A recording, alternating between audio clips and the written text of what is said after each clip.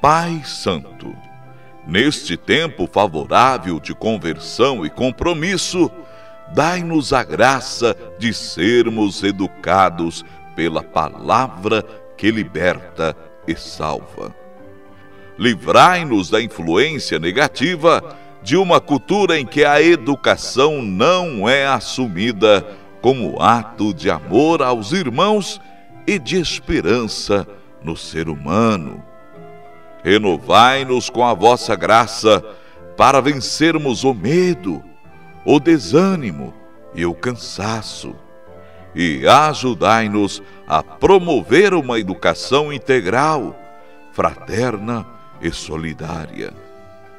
Fortalecei-nos para que sejamos corajosos na missão de educar para a vida plena em família em comunidades eclesiais missionárias, nas escolas, nas universidades e em todos os ambientes.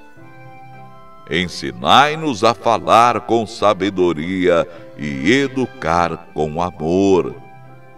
Fazei com que a Virgem Maria, Mãe Educadora, com a sabedoria dos pequenos e pobres, nos ajude a educar e servir com a pedagogia do diálogo, da solidariedade e da paz. Por Jesus, vosso Filho amado, no Espírito Senhor que dá vida. Amém.